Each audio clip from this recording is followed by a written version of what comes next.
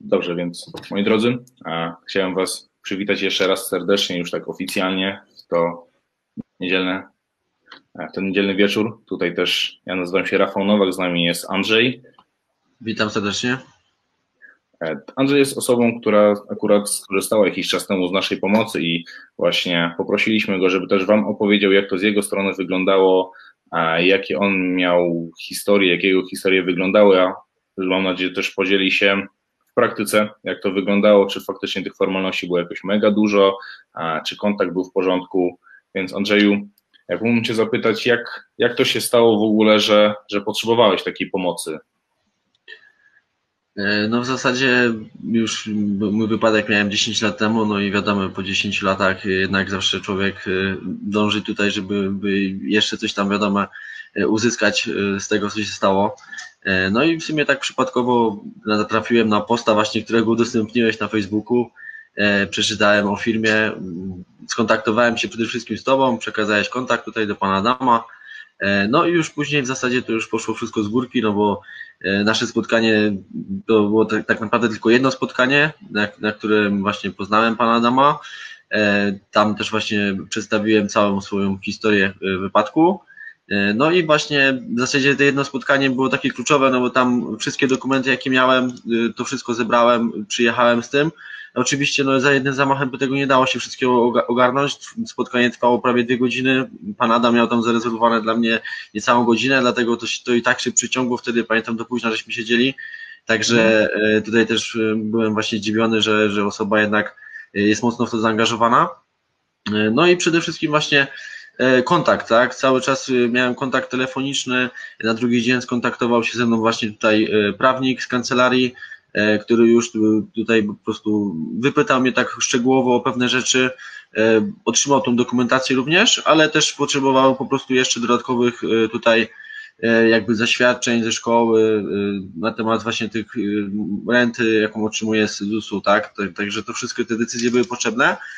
Ale to było bardzo fajne i łatwe do wysłania, no bo to wystarczyło zrobić zdjęcie, wrzucić na maila, cały czas kontakt mailowy był i, i to z panem Adamem czy, czy z panem Pawłem E, dlatego tutaj nie było żadnego problemu, że, że musiałem jakoś tam wysyłać to. Mhm. No i fajnie było, fajne było to właśnie, że e, bardzo szybko udało się e, uzyskać w ogóle jakiekolwiek środki, prawda? Bo to od naszego pierwszego spotkania to było miesiąc, półtorej miesiąca, a już po prostu były efekty, już po prostu była decyzja z PZU, która już przyznaje przyznała mi rentę dla wyrównania moich potrzeb. Dlatego bardzo się ucieszyłem, bo, bo tak naprawdę no, no nie każdy wierzy w to, tak? No ja tutaj też miałem swoje doświadczenia po prostu, y, bo ja miałem wypadek 10 lat temu, wypadek komunikacyjny na motocyklu. E, no i na początku też skorzystałem, w sumie rodzice, bo ja też wtedy byłem niepełnoletni i rodzice skorzystali właśnie z, z pomocy prawnika.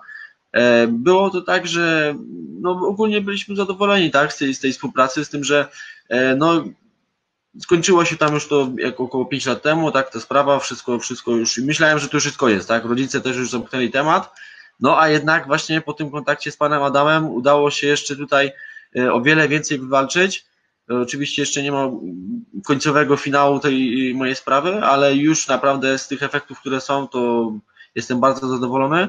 E, no i przede wszystkim czas działania, tak? Ten czas działania był bardzo krótki, także tutaj mm, naprawdę jestem pod wielkim, y, wielkim wrażeniem, po prostu głębokim wrażeniem e, tego, jak tutaj to zadziałało. Y, obrazisz się, jak pokażę screen z systemu, jak to w praktyce wyglądało? Nie, śmiało. Dobra, to ja, drodzy Państwo, też pokażę, jak to w praktyce wyglądało. Myślę, że to też będzie w jakiś sposób dla Was wartościowe. Jak zwrócicie uwagę, to tutaj tak naprawdę to, co powiedział właśnie Andrzej. Mm, praktycznie po miesiącu udało się uzyskać to, co było w tym wszystkim ważne, tak? No bo biorąc pod uwagę akurat, bo Andrzej, jeżeli mógłbyś powiedzieć, co tobie się stało, jeżeli chodzi o, o fizyczne obrażenia? Tak, jasne. No tu tutaj u mnie było tak, że e, przede wszystkim miałem porażenie splotu barkowego, czyli moja lewa ręka, lewa dłoń, e, w zasadzie palcami już no, nie, nie mogłem ruszać, e, nie mogę ruszać w zasadzie dalej, z tym, że później miałem operacje, które to usprawniły troszeczkę, dlatego już tak inaczej o tym mówię. E, chodzi o to, że po prostu no, ręka była dużym problemem, bo, bo nie miałem w ogóle w połowie ręki, nie mam czucia, bo tam jest porażenie e, nerwu łokciowego. E, oczywiście dodatkowo jeszcze mam też właśnie amputowany mięsień piszczelowy przedni, także mój ruch grzbietowy stopy do góry też jest mocno ograniczony, w zasadzie go nie ma w ogóle. E, no i to też to największe tutaj jakby sprawia te problemy w moim funkcjonowaniu. E, no dodatkowo też miałem żebra połamane z, z, z lewej strony właśnie od 1 do 9. E, no i tutaj też przebite płuca były, mm, wieloodłamowe złamanie kości udowej, obojczyk, łopatka połamana w dwóch miejscach, mm, krwiak w mózgu też był niewielki, ale był, przez to też były komplikacje na początku właśnie no naprawdę dużo tego było odleżyny, tak samo właśnie, bo, bo, byłem w przez 16 dni, e, no i tutaj właśnie też pojawił się duży problem z, z, z miejscowymi właśnie brakami teraz e, w, w owłosieniu, tak, na głowie. E, no w zasadzie, w zasadzie to chyba tyle, tak w skrócie dużo powiedziane, ale... ale... No, tak, dosłownie w skrócie. Bo jakby co było w tym wszystkim najważniejsze, to że faktycznie tutaj akurat pierwsza rozmowa jak zwrócimy uwagę, została przeprowadzona 6 e, kwietnia. E, natomiast właściwie to, to, o czym rozmawialiśmy po miesiącu, mieliśmy już informację taką, że e, mamy rentę, która jest na zwiększone potrzeby. Czyli tak naprawdę to jest renta, którą no, osoba, która faktycznie ucierpiała w wypadku, no może przeznaczyć na cokolwiek, E, bo z tego co kojarzę, Andrzej, ty też na rehabilitację chodzisz, korzystasz. Tak, tak, tak. Tak, rehabilitacja raz w tygodniu, no i to jest o tyle dobre właśnie, że no jednak te środki się znajdują później na, na tą rehabilitację. No a jak wiemy właśnie, no to w tej pierwszej fazie, jeżeli ktoś jest po wypadku, e, czy, czy po jakimś innym, jakimś tam e, incydencie, no to wiemy, że te środki się jednak przy, przydają, prawda? Ja też wtedy na przykład byłem osobą niepełnoletnią i wszystko było na głowie rodziców, E, no i też, żeby poświęcić mi więcej czasu, musieli zrezygnować po prostu z swoich dodatkowych godzin, z, z jakiejś dodatkowej pracy. E, no i to też się przełożyło po prostu na to, że, że rodzice mieli mniej tych pieniędzy, prawda? Dlatego tutaj, jeżeli właśnie osoba taka jest po wypadku, no to jednak te pieniądze zawsze się przydadzą, bo, bo medycyna idzie cały czas do przodu, są coraz to nowsze techniki rehabilitacyjne.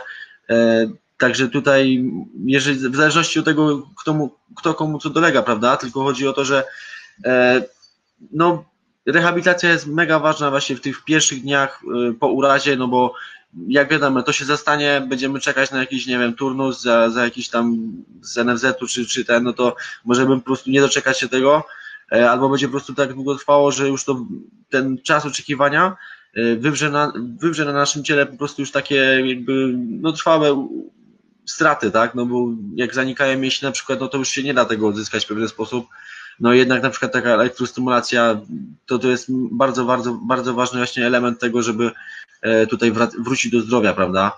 Dlatego tego nie można zaniedbać i trzeba po prostu już na początku od razu działać z tym. Myślę, że akurat osoby, które nas oglądają, które zajmują się fizjoterapią, to to, że tak powiem, przyznaję Ci w 100% rację, no bo to, to są osoby najczęściej, które faktycznie mają dość duże doświadczenie. E, na ostatnim webinarze akurat gościliśmy fizjoterapeutę, która też, też pracuje z pacjentkami, z pacjentkami, akurat w tym wypadku pacjentami też, e, faktycznie mocno poszkodowanymi w wypadku, więc, więc na pewno e, tutaj te osoby też wiedzą, o czym mówisz. No i teraz tak naprawdę zmierzamy e, do pytań. Czy, czy drodzy Państwo macie jakieś pytanie może do, do Andrzeja, jako osoby, którą właśnie tutaj dzisiaj zaprosiliśmy?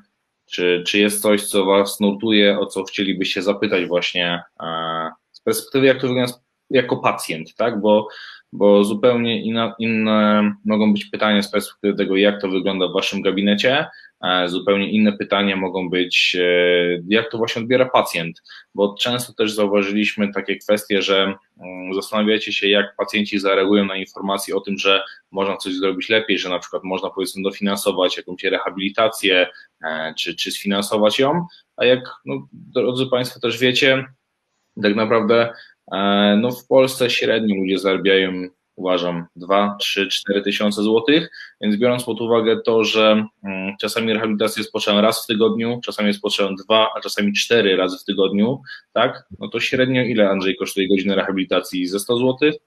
No, 100 zł to i tak, i tak jest dobrze, jak, jak się znajdzie.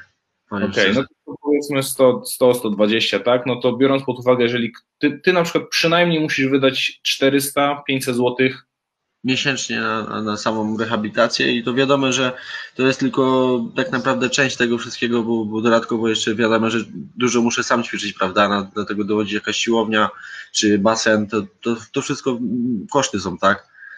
Także tutaj jak najbardziej myślę, no, że tak. Chodzi o to, żeby te środki faktycznie były. Jeżeli można je pozyskać, no to też warto, warto z tego skorzystać, tak? tak. Więc Państwo, czy, czy macie jakieś pytanie może do, do Andrzeja? Jeszcze chwilkę. Poczekamy.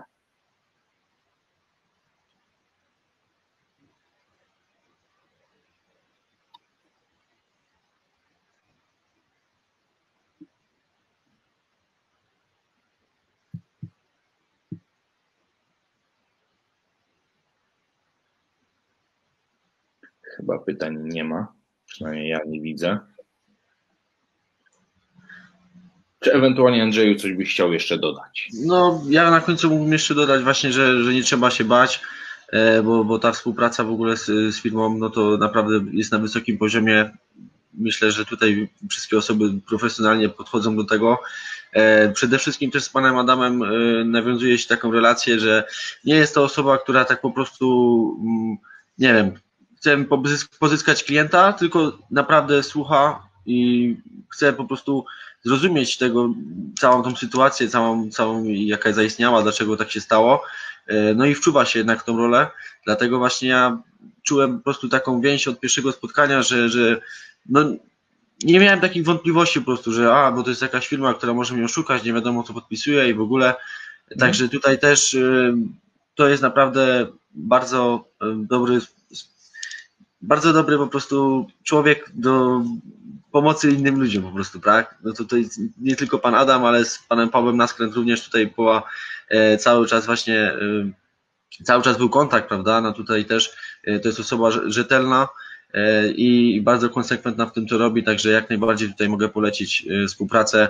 Też miałem obiekcje, też tutaj zawsze każdy ma jakieś wątpliwości, ale naprawdę po, po miesiącu czasu od spotkania pierwszego to wszystko się zmieniło i do dzisiaj mogę powiedzieć szczerze, że e, no, bardzo się cieszę, że trafiłem na tego posta Rafał od Ciebie wtedy i że udało się po prostu już tutaj pomóc mi e, w bardzo krótkim czasie.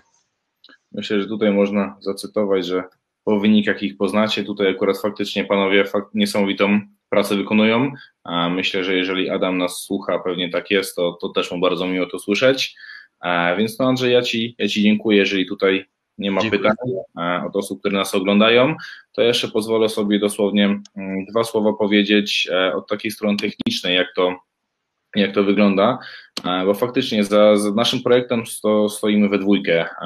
No, mnie akurat Państwo macie okazję oglądać, natomiast tutaj tak naprawdę osoba, która jest w dużej mierze odpowiedzialna właśnie za cały projekt, to jest właśnie Adam Rostowski, który właśnie między innymi właśnie z Andrzejem czy, czy z innymi pacjentami e, w dużej mierze pracuje. No bo jeżeli chodzi o Andrzeja, Tutaj sytuacja była taka, że, że staraliśmy się uzyskać tą rentę, e, tak aby Andrzej, jako osoba poszkodowana w tym wypadku, ciężko poszkodowana w wypadku, e, mogła skorzystać właśnie z, z tej rehabilitacji i żeby e, w jakiś sposób ułatwić mu takie codzienne funkcjonowanie, no bo jak sam powiedział, no te koszty są, mm, koszty będą, bo, bo jakby czasu nie jesteśmy w stanie cofnąć, no zdrowie możemy poprawić, starać się przywrócić, natomiast to, to wygląda w ten sposób, że potrzebujemy i czasu, i zaangażowania, determinacji. E, kiedyś, kiedyś byłem na spotkaniu i jeden z klientów e, mi powiedział, że żeby w Polsce chorować, należy być e, zdrowym i bogatym, więc żeby też wyrównać te szanse, my, my staramy się uzyskać bądź dofinansować takie, takie właśnie leczenie. I kto tak naprawdę może skorzystać z dofinansowania do leczenia, do rehabilitacji? Pacjenci, którzy, którzy są po urazach, których doznali tak naprawdę w wypadkach w pracy, w wypadkach w rolnictwie, e, czy też w wypadkach komunikacyjnych. Mm, więc, więc tutaj też jak najbardziej jesteśmy w stanie pomóc. E, I co jesteśmy w stanie zrobić dla, dla pacjenta? E, bo to są jakby tak naprawdę rzeczy, które my możemy zrobić, mm, czyli jeżeli jest taka potrzeba, to jesteśmy w stanie jak najbardziej dofinansować tę rehabilitację powypadkową. I tutaj na ostatnim webinarze też była rozmowa właśnie z fizjoterapeutką Gosią, która opowiadała, jak to wyglądało z jej perspektywy. Myślę, że w najbliższym czasie też będzie okazja rozmawiać z kolejnymi fizjoterapeutami, którzy też się wypowiedzą, jak to, jak to wygląda. Też jest możliwość skorzystania z pomocy psychologa, tudzież psychiatry, bo czasami nie tylko ten uraz e, fizyczny mm, doskwiera pacjentom, natomiast te urazy e, psychiczne też, też jak najbardziej tutaj warto o to zadać. E, no, oczywiście jest fachowa pomoc prawna, mm, pomagamy też uzyskać orzeczenia, jeżeli chodzi o niepełnosprawność czy dofinansowania z PFRON-u. Oraz właśnie tak jak w wypadku Andrzeja, no to kwestia uzyskania bądź zwiększenia renty, no i sprzęt ortopedyczny, sprzęt rehabilitacyjny, czyli wszystko to, co jest tak naprawdę niezbędne e, w procesie dochodzenia do, do zdrowia. Mm, tutaj też e, screen akurat, gdzie jest informacja właśnie, że e, została wypłacona zaliczka na pokrycie rehabilitacji, bo tak naprawdę o to chodzi, bo często jest tak, że pacjent korzysta z Państwa usług, powiedzmy raz, dwa razy w tygodniu, średnio godzina pracy fizjoterapeuty to jest około nie wiem, 80-100 zł, zależnie oczywiście od rejonu Polski, zdarzają się i 120. E, natomiast finał finałów chodzi o to, żeby taką rehabilitację sfinansować, e, to nie zawsze pacjent jest w stanie pozwolić sobie na wyłożenie takich środków, tak? No bo jeżeli prosto policzymy, e, że pacjent jest u Państwa dwa razy w tygodniu po 100 zł, to tygodniowo wydaje na leczenie i rehabilitację 200 złotych, Miesięcznie daje to średnio 800 zł. Biorąc pod uwagę średnie zarobki w Polsce, no umówmy się, drodzy Państwo, e, nie każdego na to może być stać. W związku z tym my też jak najbardziej w tym zakresie chcemy pomóc, e, chcemy, żeby ci pacjenci rehabilitowali się u Was, e, chcemy, żeby ta rehabilitacja była na tyle zrobiona, że może określę to w ten sposób, żeby była na takim poziomie, na ile trzeba, a nie na takim, na jaki stać pacjenta, bo często jest, mamy dość dużą rozbieżność, prawda? E, tutaj też przykłady tego, co faktycznie udało się w poprzednich latach uzyskać.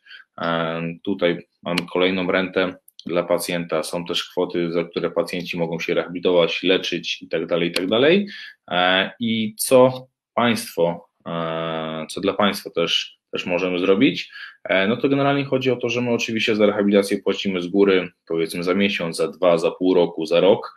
E, zależnie od sytuacji, każdy też przypadek oczywiście analizujemy indywidualnie, bo nie ma dwóch takich samych przypadków. Nie jestem w stanie Państwu powiedzieć, e, jak jest zawsze, bo, bo zawsze to jest troszeczkę inaczej. I my też staramy się właśnie w ten sposób podejść do, do pacjentów, żeby tak naprawdę mm, pacjent E, czuł tą opiekę, żebyście wy Państwo widzieli, że, że my też robimy dobrą pracę, e, bo wiadomo, tutaj pracujemy z pacjentem, są to, są to tematy bardzo mocno wrażliwe i my też staramy się w ten sposób podchodzić do tych pacjentów. E, generalnie dzięki nam też często jest możliwość dłuższej pracy z pacjentem i tutaj właśnie mówiłem przede wszystkim ze względu na te kwestie finansowe, tak, żeby pacjenci mogli sobie pozwolić na to, żeby u Państwa być, bo czasami są powiedzmy raz w tygodniu, a Wy jako specjaliści doskonale wiecie, że powinni być na przykład przynajmniej trzy razy albo dwa razy w tygodniu. E, no i tutaj też chodzi tak naprawdę o kwestię, jak szybko dany pacjent będzie w stanie e, powrócić do, do zdrowia, tak? E, tutaj, jeżeli chodzi też o pomoc w zwiększeniu rentowności waszego gabinetu, też mamy pewne możliwości.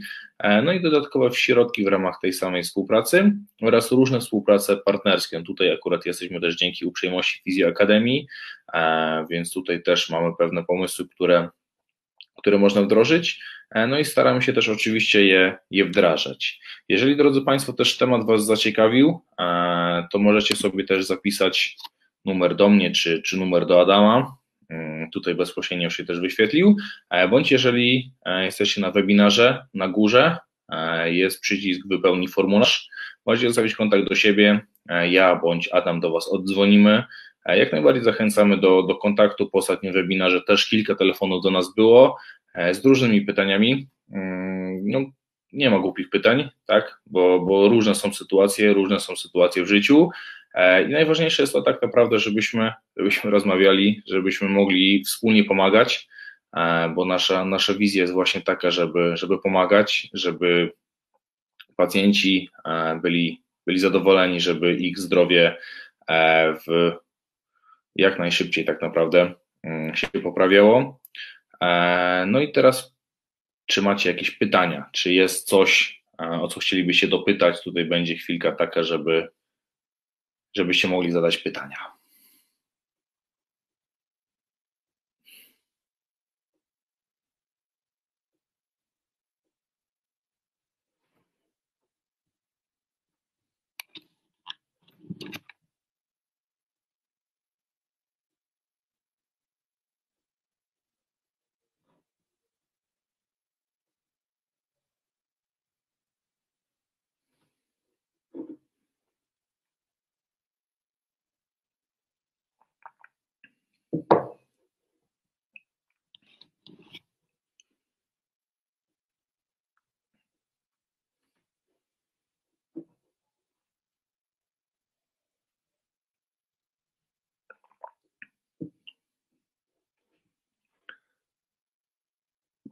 W praktyce, drodzy Państwo, mm, często też to wygląda w ten sposób, że e, zastanawiacie się, w jaki sposób z tym pacjentem porozmawiać.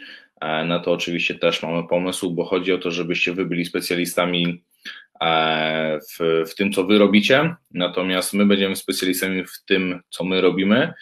No i dzięki temu wspólnie będziemy pomagać, tak? Czyli tak naprawdę, co jest dla nas najistotniejsze, żebyście poinformowali pacjenta, że jeżeli współpracujecie z nami, to w waszym gabinecie jest możliwość skorzystania z dofinansowania do rehabilitacji e, i wasz ekspert w naszej postaci zadzwoni e, dziś bądź jutro na przykład do takiego pacjenta.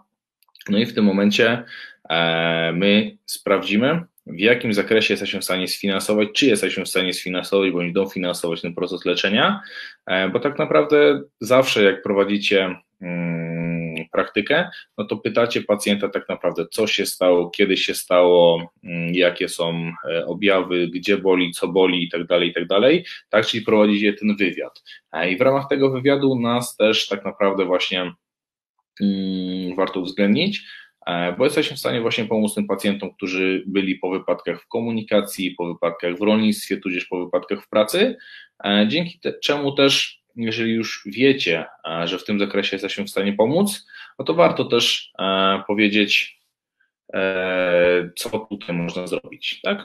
Mm, tutaj widzę pytanie, czy Wasza działalność jest tylko na terenie Polski? Generalnie nie, nie, nie ograniczamy się. Każdy przypadek też warto indywidualnie zweryfikować, bo co kraj to inne przepisy, inne przedawnienia, tak?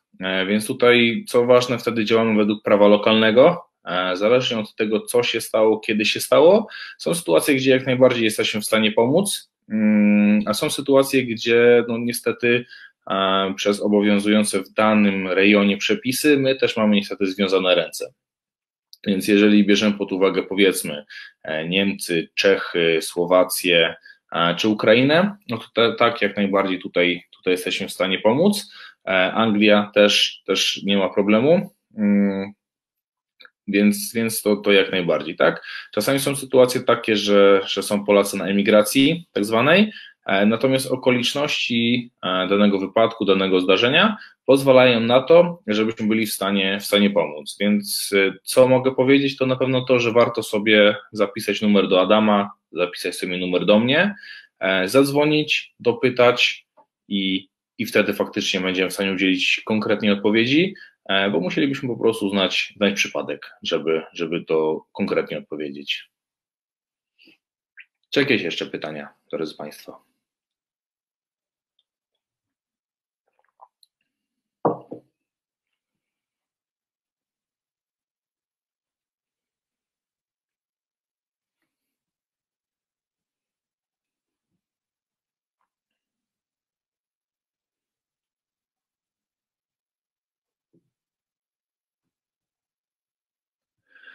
Co ważne, generalnie też jesteśmy w stanie mm, cofnąć się wstecz, e, jeżeli chodzi o, o proces pracy z, z pacjentem w naszym wypadku, e, bo zdarzają się sytuacje, że te zdarzenia, wypadki były 2, 3, 5, 10, czasami nawet 18, 20, 30 lat temu i są okoliczności takie, w ramach których jesteśmy też jak najbardziej w stanie pomóc, e, czy to właśnie pod kątem zwiększenia renty, czy, czy właśnie sfinansowania tej, tej prywatnej rehabilitacji. E, więc tutaj też jak najbardziej zachęcam do kontaktu, żeby dopytać, w jakich okolicznościach żebyście też Państwo nie zastanawiali się, a pewnie jeżeli wypadek był dawno temu, no to temu pacjentowi nie jesteśmy w stanie pomóc, bo tutaj często zdarza się tak, że właśnie te sytuacje, które były lata, lata temu, tak jak w wypadku właśnie Andrzeja, który tutaj z nami był, gdzie wypadek był 10 lat temu, e, no udało się zrobić dużo dobrego, dzięki czemu też Andrzej tak naprawdę można powiedzieć, że dziś rehabilituje się na koszt e, ubezpieczyciela, tak, no bo to są pieniądze, które mm, mu się należały, natomiast on na przykład o tym nie wiedział, tak, a czy, czy to, co dziś udało się uzyskać, to jest, to jest koniec? E, nie, to kwestia tego typu, że musimy pewne dokumenty znowu zbierać, E, no i jak wrócimy tak naprawdę do, do tego przypadku, e, to co jakiś czas tutaj mm, pewne kwoty, kwoty są wypłacane, e, w związku z czym staramy się zrobić tak, żeby faktycznie dla pacjenta uzyskać to, co mu się należy, no i dzięki czemu też Wy, drodzy Państwo, możecie na tym skorzystać pod kątem tego, że na przykład macie pacjenta, który u Was cały czas jest. No wyobraźcie sobie taką sytuację, że jest pacjent, którym powiedzmy jest właśnie Andrzej, e, no i mówicie mu, drogi panie Andrzeju, u mnie w gabinecie jest możliwość sfinansowania pana prywatnego leczenia bądź dofinansowania. E, czy chciałby pan z tego skorzystać? No tak, jak najbardziej. E, ok, to w takim razie dziś lub jutro mój ekspert do pan zadzwoni i sprawdzimy, w jakim zakresie jesteśmy w stanie pomóc. Dobra, powiedzmy, rozmawiamy, tak jak tutaj właśnie z Andrzejem. No i okazuje się, że taki pacjent wraca do was E, z informacją po miesiącu, że będzie miał na przykład kwotę, tak jak tutaj mamy, 600 zł miesięcznie prawie, na to, żeby u Was cały czas się rehabilitować. Pytanie pierwsze, czy ten pacjent do Was wróci? Uważam, że tak. Pytanie drugie, czy będzie zadowolony? Jak najbardziej tak. Kto by nie był.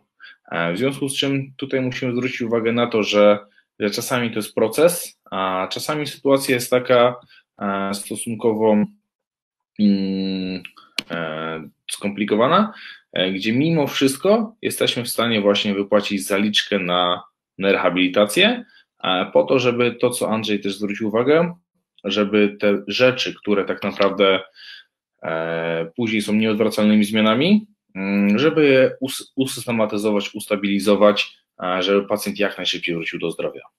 Więc drodzy Państwo, jeszcze raz zachęcam, jeżeli e, temat Was zaciekawił, zostawcie kontakt do siebie. E, jeżeli macie ochotę, zapiszcie sobie numer do mnie, zapiszcie sobie numer do Adama, no i bezpośrednio możecie też z nami się, się kontaktować. Więc czy jakieś może jeszcze macie pytania? Jeżeli nie, to będziemy niedługo kończyć.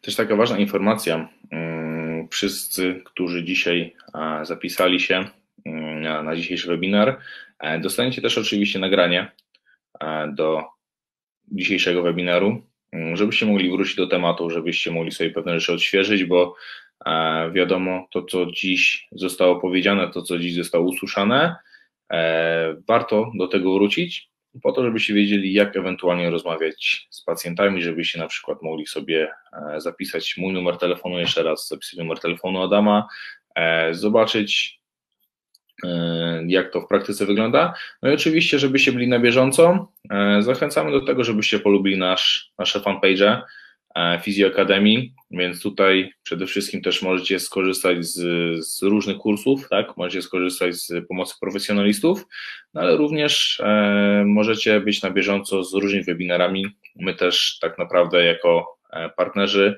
co jakiś czas tutaj się pojawiamy, żeby e, pomagać rozwijać wasze gabinety, żeby, żeby ci pacjenci e, mogli skorzystać z różnych przywilejów, które, które im mogą się należeć. W związku z tym warto, żebyście też byli na bieżąco, więc bez względu na to, czy jesteście fizjoterapeutami, czy jesteście terapeutami, e, w jaki sposób pracujecie z pacjentami, na pewno dużo rzeczy tutaj znajdziecie dla siebie, więc też jak najbardziej zachęcamy do tego, żeby polubić, e, zaobserwować fanpage.